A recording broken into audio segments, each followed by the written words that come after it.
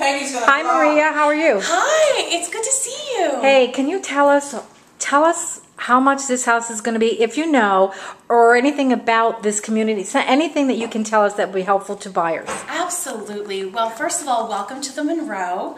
Um, this is part of our neighborhood called the Cove. The Cove being the largest of our neighborhoods. So a lot of family, very family friendly floor plans. Um, this is going to represent the largest of those floor plans um, within the Mary Peak and the John Smith and the Monroe. Um, we're going to start at 524,990. Awesome. Within the Cove. So great price point, great community.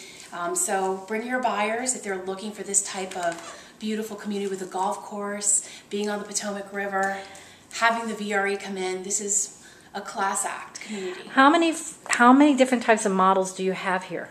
We have a total of six models. Okay. But within those models, they're representative of 17 different floor plans that we're going to have total that we're going to release. So your clients are going to have 17 options and floor plans. So there's nothing to worry about here. We have a beautiful floor plan for every person, Really?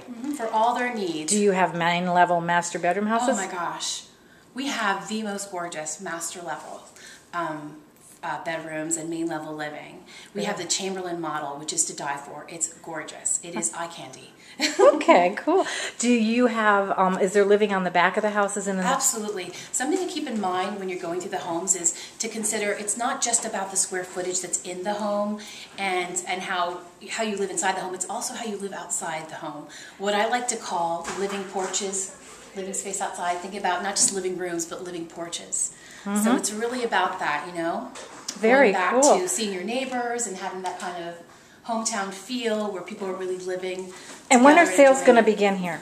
We are going to kick off this weekend with our VIP event. It's a private event and it's limited to by appointment only.